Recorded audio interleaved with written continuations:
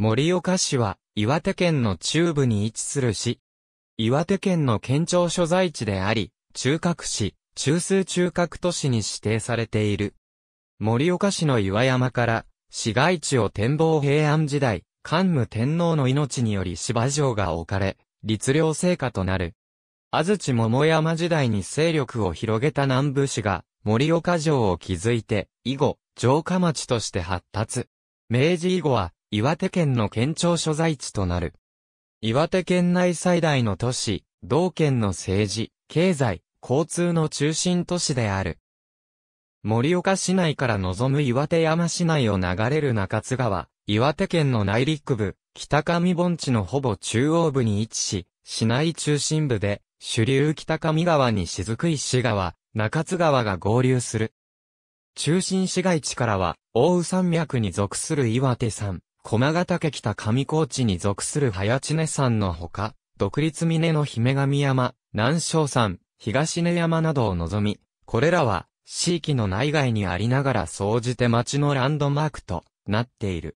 地域面積は、東京23区の約1.4倍に相当し、豊かな自然環境に恵まれ美しい景観を形成している。国土地理院の全国、都道府県市区町村別面積帳によると、盛岡市の面積は886.47平方キロメートルである。国土地理院によると、盛岡市の東西南北それぞれの橋は、以下の位置。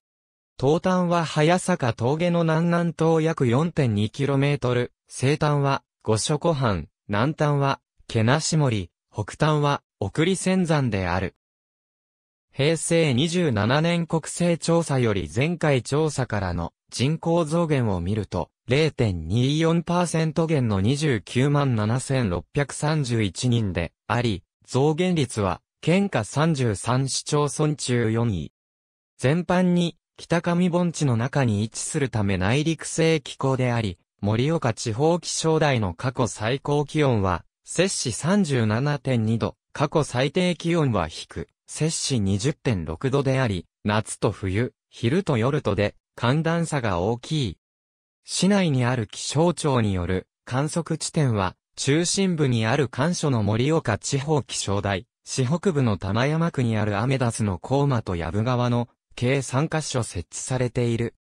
欠片の気候区分によると、盛岡中心街から南部の北上盆地は温暖湿潤気候、一方市の北部の滝沢市に隣接する地区や北上盆地周辺の標高の高い地域などは亜寒帯湿潤気候に属する。盛岡市街地の気候は次の通りである。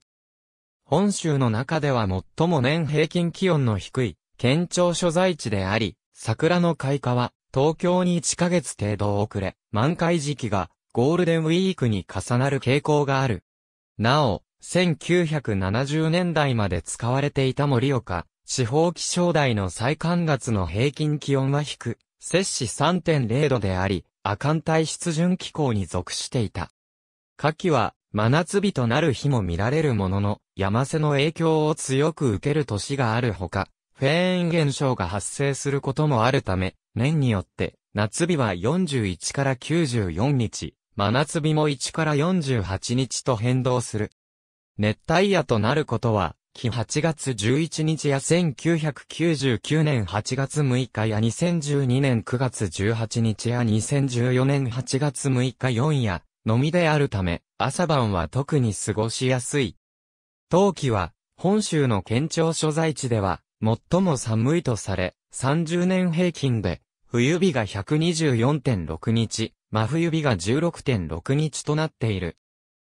年間平均降雪量は、以下の都市別比較表にある1971から2000年平年値の351センチメートルより、大幅に減少し272センチメートル、過去最新積雪は81センチメートル程度と、毎年必ず積もるとはいえ雪は極端に多くはない。一方で、冬季の日照時間が長いために、よく晴れた深夜、早朝に放射冷却現象が起き路面が凍結し、雪害以上の課題となっている。ただし、近年、盛岡市中心部は年々冷え込みが弱くなり、マイナス10度以下まで冷え込むことは少なく、盛岡地方気象台の1月の平均気温の低、摂氏1.9度は1970年代の低、摂氏3.0度と比べると、摂氏1.1度も上昇した。しかし、郊外は氷点下15度を下回る気温も観測されるなど、朝晩の冷え込みは非常に厳しく、市北部のアメダス港までは1月の平均気温が低く、摂氏3.1度、平均最低気温は低摂氏8.1度になるほか、隣接する雫石町では2018年2月2日に引く、摂氏20.8度、南部の紫波町のアメダスでも2013年1月18日には引く、摂氏16.9度まで下がっているなど、中心部と郊外では朝晩は、夏季よりも年々気温差が大きくなる傾向にある。藪川の寒冷な気候市北東部の藪川は、観測点の標高が680メートルと、アメダス観測点の中で取り立てて高い方ではないが、周囲を山に囲まれ岩洞湖に冷気が溜まりやすいという地理的条件のため、非常に寒冷な土地である。2月の平均最低気温はマイナス13.8度と、標高1200メートル台の群馬県、草津や長野県菅平アメダスをも下回り、本州のすべてのアメダスで最も低い。放射冷却によって、冷夏摂氏20度を下回ることも珍しくないほか、岩手県宮古宿海、岐阜県高山市六馬や、長野県上田市菅平、長野県南牧村の部山と並んで、初秋や晩春にも、氷点下の厳しい冷え込みを観測することがあり、本州で最も寒冷な土地の一つとされる。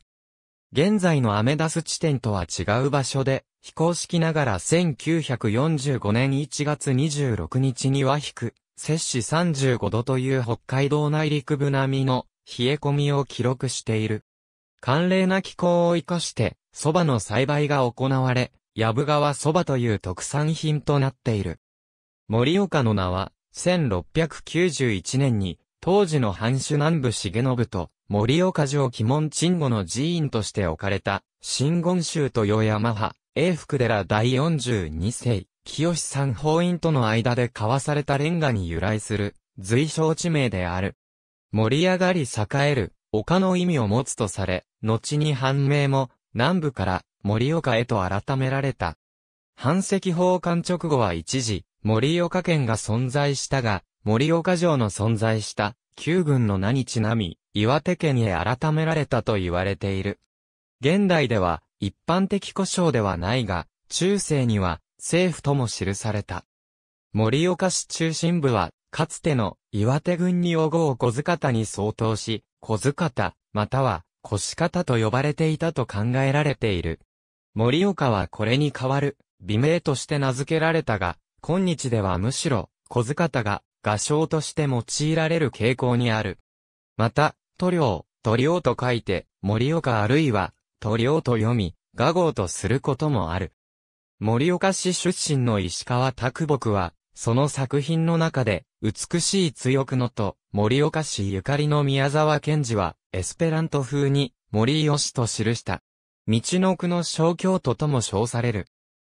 盛岡を連想させるものとして、市内のあらゆる地域から望まれる、岩手山が多くの学校の校歌に歌われるほか、市の中心部で合流する中津川、北上川、雫石川の三大河川、国の史跡に指定されている、盛岡城石垣、国の天然記念物に指定されている、石割桜、国の重要美術品の上の橋木星、旧盛岡藩主南部市の家紋、向井鶴、武田美氏が、盛岡を表す端的なモチーフとして用いられることが多い。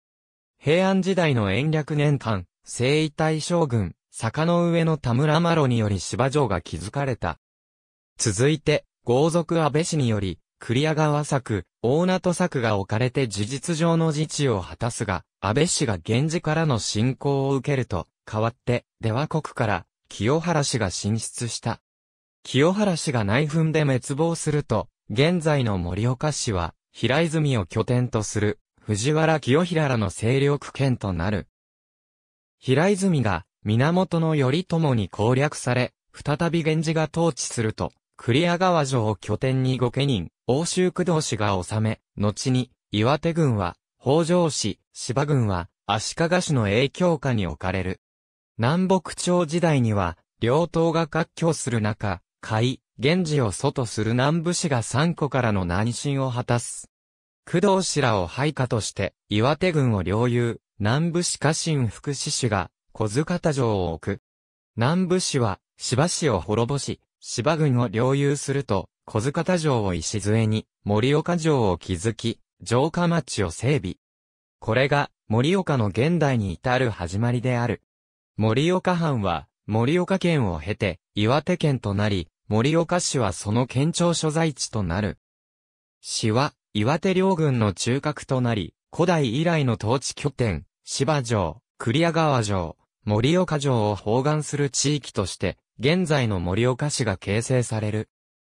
盛岡への鉄道敷設まで、主な物流は、盛岡から石巻に至る、定期線を、北上海総会社が担い、反政以来の、周運を、近江商人を中心とする財閥が継承していた。この一派は北上派と呼ばれ、経済、文化ともに、盛岡の一大主流をなす、商業集団となった。しかし、鉄道敷設による北上川周運の衰退は、盛岡の経済界へ多大な影響を及ぼし、鉄道、電気といった新たな時代の要請に応え、花巻温泉、花巻電鉄の整備ほかインフラを束ねた、金田一家の台頭を見た。この頃、江戸時代から仕込染めを商ってきた、豪商、糸や中村屋の中村治平は、北上海総会社、森岡銀行、森岡電機の役員を務め、森岡工業高校の設立にも寄与した。明治24年小祝農場の設立が、その一例で、創業者に、日本鉄道の小野義実、鉄道庁長官の井上勝が名を連ねている。また、三菱財閥創業家の岩崎矢之助が参画しており、農場名は彼らの頭文字を取って付された。この開業は、井上の鉄道敷設への深い思いがあると伝えられている。第90国立銀行は、経営不振に陥っており、洋物商、A 茂の佐々木雄太郎が頭取として、再建に乗り出すも、渋沢栄一は、自らが設立に関与した。仙台の第77国立銀行を斡旋して、盛岡支店を開き、岩手県公金取扱い業務を同行へ譲渡させた。盛岡産沙踊り岩手公園盛岡師匠は、城下町、盛岡を開いた南部市の紋章、菱を交差させたものに由来。いびしと呼ばれる。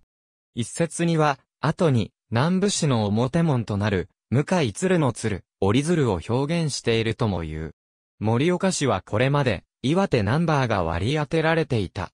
耐震性に問題のある視聴者の問題に加えて、火葬場や下水道回収問題など、高度経済成長期に整備した社会資本を更新する必要に迫られている。盛岡は、市街地は小さく狭い市街地の至るところ中心部にまで道幅狭い細路地があり、交通渋滞が慢性化している。市は、マイカー利用を抑える対策として、バス利用の促進を図る。2020年4月26日、新型コロナウイルスで、固定資産税等の納付猶予の相談を受けた、市役所納税課の職員が、記載事例に、滞納太郎と記載した、申請書を相談した複数の事業者に送付。事業者から抗議を受け、納税課長が謝罪した。海外国内南部鉄器地域別の平均所得ランキングでは、当市は一人当たりの所得が332万円である。また、年間商品販売額は約1兆3559億円である。高度経済成長期には、仙台市が広域中心都市として、盛岡市は岩手県域中心都市としての地位を確立した。高度経済成長後は、東北新幹線開業、東北自動車道全通、八戸自動車道接続など、1980年代に高速交通インフラが一気に整備された。秋田新幹線開通や東北新幹線、新青森駅延伸など高速交通インフラがさらに拡充された。近年、地方部の中心市街地における商店街は小売りの多くが郊外型大規模小売店舗に変わる傾向が見られ、中心市街地の路線価が下がり続けており、盛岡市中心部でもピーク時1992年の3分の1以下まで下落した。中心商店街は小売店の入れ替わりが激しい。物販の郊外化と中心部の賃料の低廉化から、中心部における物販の衰退が一層進んでいる。総務省家計費調査によると、世帯あたりの豆腐の消費量が全国の県庁所在都市で第1位。物販の郊外化及び流通の河川化によって商品の多様性は以前と比べて低下しており、ファッション関連品目などの高級品を中心に多様性の維持、拡充が続く仙台市や東京への流出が顕著である。主な百貨店、商業施設スーパーマーケット、家電量販店ホームセンター書籍、CD、DVD、文具上空からの盛岡市、秋文社発行の都市地図シリーズでは、盛岡市市和町、矢幅町、滝沢村を収録したタイプが、岩手県一として発行されており、バリアフリー設備付き主要施設が書かれた、バリアフリー情報付き盛岡市中心部詳細マップ、付属。なおこのシリーズに、雫石町と玉山区中心部拡大図は、非掲載である。また前輪発行の盛岡市住宅地図は、盛岡市北部滝沢村版、同、南部版、同、玉山区版の3種類が発行されている。中心部中津川の北にあるため半世時代より、河北とも呼ばれる、この地域は、かつて、二王号と称した。現在も、当地では、中津川、北上川、雫石川の三大河川が交差するが、安土桃山時代までは、湿地帯で河川の氾濫が見られた。後に、それを、自然の要塞都市盛岡地区上が進められ、現在の盛岡市央部となった。幕末まで、藩の重臣屋敷が立ち並んだ、盛岡城内丸跡には、明治になって、県庁など、観光庁施設や、金融機関、マスコミ、医療機関などが集中する。慶長年間の盛岡海府に際しては、南部市の旧城下町3個から住人の移転が図られ、三個町が開かれたほか、京都からの移住した豪商の町、京町、商人、職人町として、花屋町、材木町などがある。第通、菜園地区は、木内の食前に野菜を供するための、森岡城五菜園の名が、住居表示に採用されたもので、近代には、菜園競馬場、森岡聖火市場、森岡農学校が置かれた。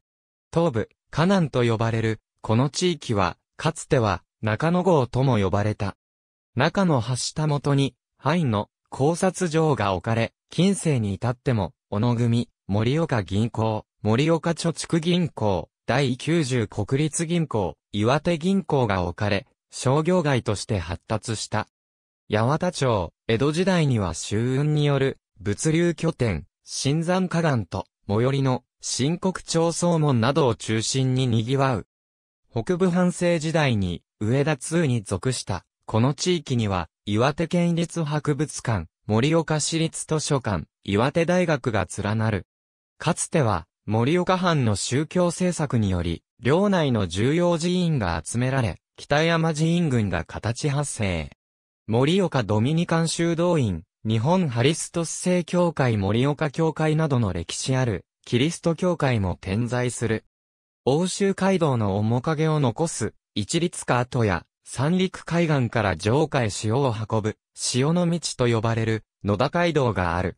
かつては、競馬場があり、会員の宮琴人親王は、近隣の黄金清水にちなんで、黄金競馬場と命名。移転した、現在の、盛岡競馬場は、これにちなんで、オロパークを愛称とする。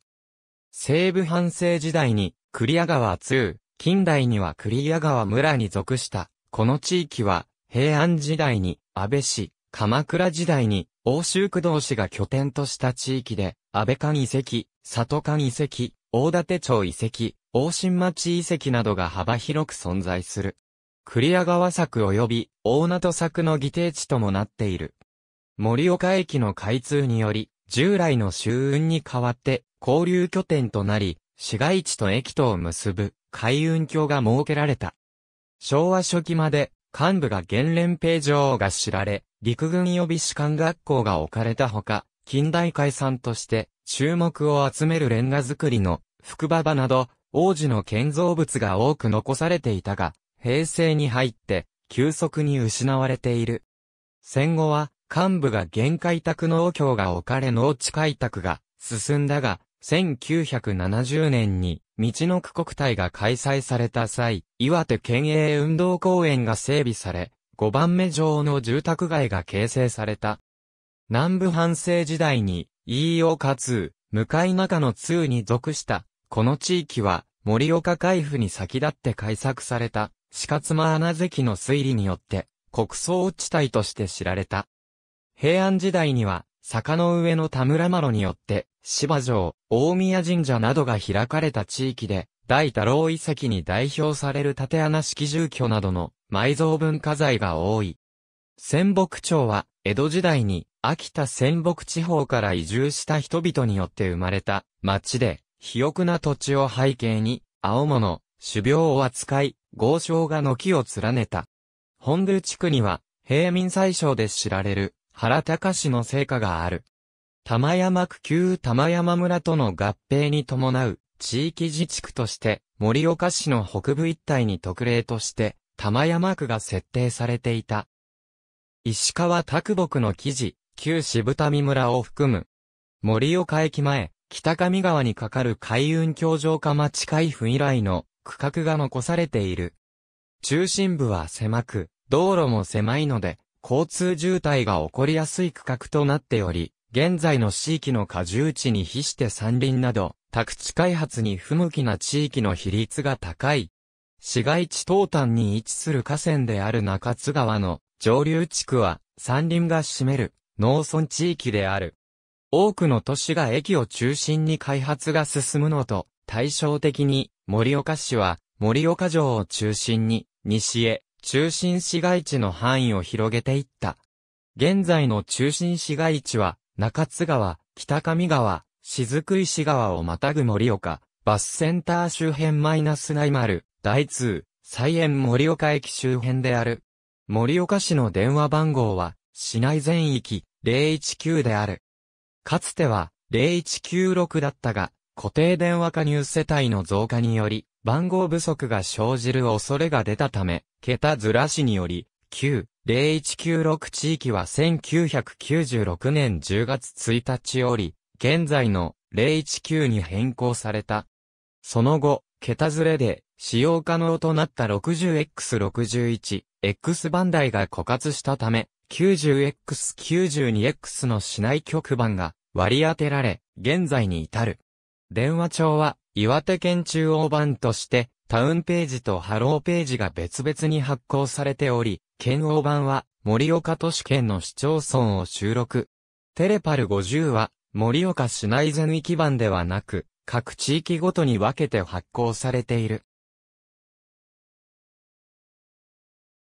警察署盛岡市内には、知的障害に対応する、小学部、中学部を有する特別支援学校は、県立学校では所在せず、岩手大学教育学部、付属特別支援学校のみとなっている。2009年に、県立の特別支援学校全体で再編が実施され、従来の盲学校、老学校、養護学校の名称が、これに合わせて、支援学校の名称に統一された。情緒障害児短期治療施設として、小鳥沢学園がある。狭い市街地の渋滞緩和を図るため、路線バスの利用促進を図る。国からオムニバスタウンに指定されており、ゾーンバスシステムを軸に、路線バスの高度利用を進めている。盛岡駅 JR 東日本の各路線と岩手銀河鉄道線が市内を通る。東京都へのアクセスは、最寄りの岩手花巻空港に東京便がないこと、空港から盛岡市までのアクセスの問題から、空路より東北新幹線が圧倒的に優位である。市内の公共輸送は路線バスが主力。運行地域は市内のほぼ全域で、市線バスと機関バスをバスセンターなどを通じて交通網を敷いている。市内を走る岩手県交通のバス高速バス、特急バス、盛岡市以北の都市との間の高速バスは、東北新幹線に接続する路線として発達したが、東北新幹線が新青森駅まで延伸12月4日したことで、利用客が大幅に減少している。ただし、大館線は大きな影響を受けていない。仙台線も東北新幹線と競合するが、新幹線の半額に運賃が設定されているため、利用客は多い。2007年度の利用客数も吹き。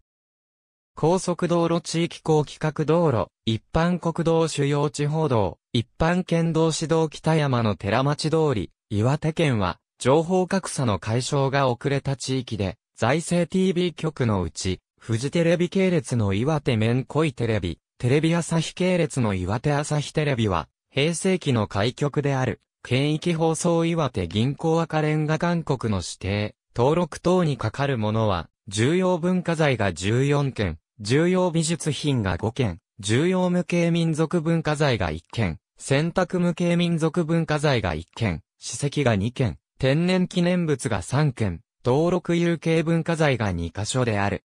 盛岡市教育委員会歴史文化課ウェブページを参照。岩手県立美術館法恩寺、五百羅漢岩手大学農学部附属農業、教育資料館南昌総庭園、石川卓木記念館、平安時代以後の上作、城下跡や、盛岡海府以来の城下町成立に伴う神社、仏閣がある。南部当時の本場である。海から遠い内陸部にある地理的条件などから、寿司、海鮮料理の食文化が発達していない。弁事、獲物と呼ばれる、この地域独特な餅菓子類が多く見られ、この盛岡でよく食される特徴的な料理方法、食材、呼び方などは、以下の通りである。わんこそば盛岡じゃじゃ麺。ありがとうございます。